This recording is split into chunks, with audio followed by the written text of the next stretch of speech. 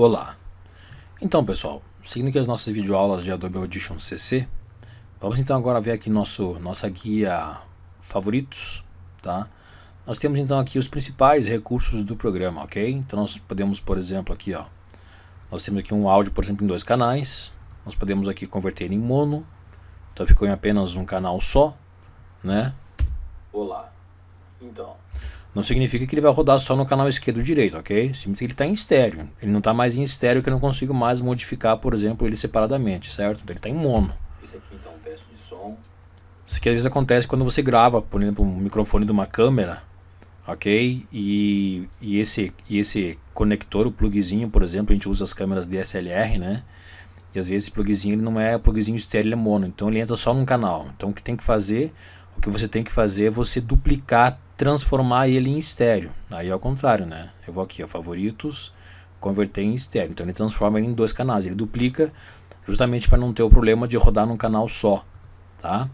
Então nós temos a, a outras questões de efeito, né? Deezer aqui, o famoso Deezer. As partes básicas que nós aprendemos a fazer, né? A questão do volume, questão de edição básica aqui, ok? Nós temos aqui daí, ó, questão de posso, posso colocar aqui um fade in, favoritos, fade in.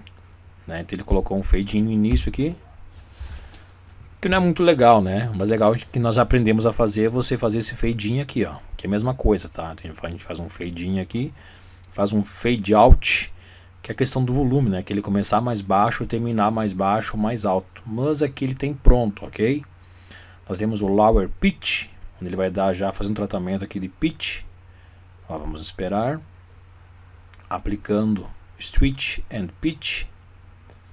Ok. Ele vai aplicar. Então são, são os recursos mais usados. Por isso que a gente chama de. Por isso que a gente chama de favorito, ok?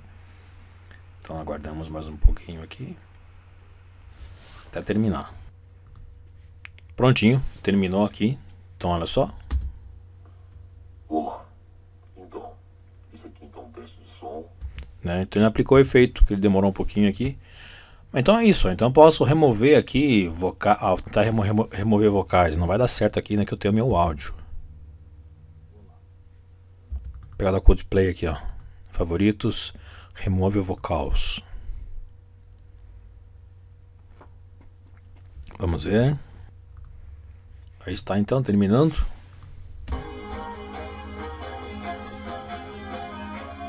Aí, ó, ele tentou deixar o máximo possível só o áudio, né? Só a melodia e tirar o áudio. Não conseguiu, né? Então são os recursos favoritos aqui. Tá? Digamos assim, os mais usados, né? Telefone voice. Olha só.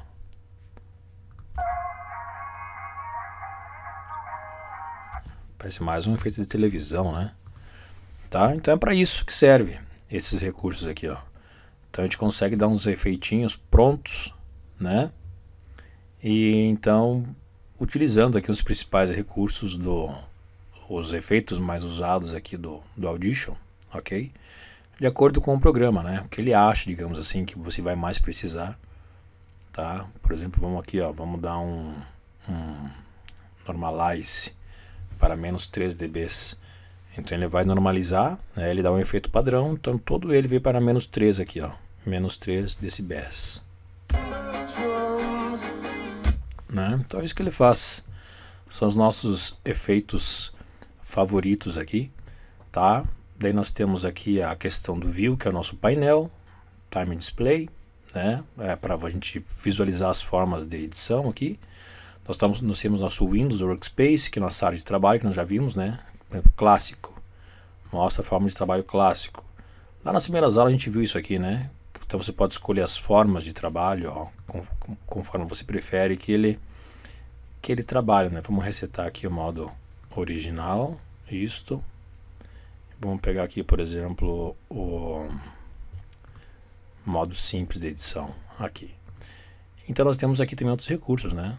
Aqui no Windows, que é outras janelas, por exemplo, o Effect Rack aqui, ó, que aparece aqui. Nós temos markers, né, vai habilitar, que são as janelas do nosso programa aqui. Né?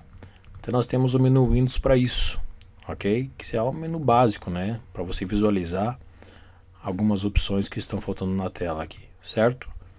É isso aí então, tá pessoal? Vamos agora na próxima aula encerrarmos essa, essa parte aqui, onde nós vamos editar então, por, por exemplo, como colocar uma voz sobre uma trilha, ok? Então é isso aí, fique comigo aí, grande abraço, tchau, tchau.